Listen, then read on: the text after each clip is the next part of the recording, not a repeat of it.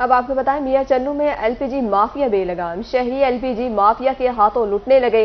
सरकारी रेट नजरअंदाज। एलपीजी तीन सौ रुपए फ़ी किलो में फरोख्त। घरेलू सिलेंडर सरकारी रेट से छह सौ रुपए महँगा फरोख्त होने लगा। मजीद जानते हैं आसिफ खान से। जी मैं बिल्कुल मौजूद हूँ इस वक्त हूँ इस वक्त मियाँ चन्नू शहर के वस्त में।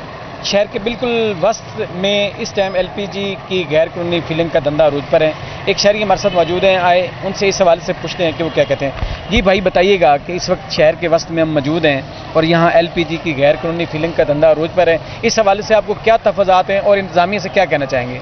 देखिए, आपने गैर कानूनी एलपीजी गैस की फिलिंग के हवाले से बात की है तो इसमें बहुत सारे सवालत हैं।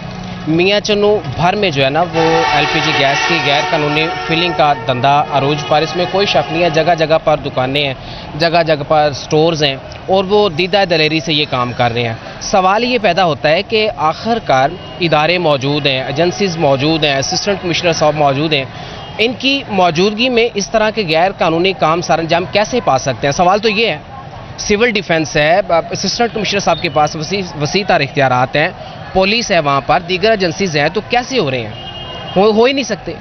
देखिए लास्ट टाइम जो सरगोदा में सानहा हुआ है एक कोच में आग लगी और नौ लोग जो हैं वो जुलस का जो हलाक हो गए कितना बड़ा सानहा है। अफसोस होता है दुख होता है इसके बावजूद हुकूमत पंजाब की जो पॉलिसी है, बहुत स्टिक है इस हवाले से। इसके बावजूद अगर ये दुकानें ये कारोबार हो रहा है तो मैं ये समझता हूँ कि ये इदारों की नाहली है और गफलत है। देखिए, ये मेरे पीछे आप देखिए ना, ये एक दुकान है और यहाँ पर एलपीजी गैस से जो वसी पैमाने पर पड़ी और इसके साथ जो है वो बेनजीर इनकम सपोर्ट प्रोग्राम के तहत जो पैसे किस्त की फ्राहमी का सिलसिला जारी है। आप देख रहे हैं। और देखिए, यहाँ पर कितने लोग हैं।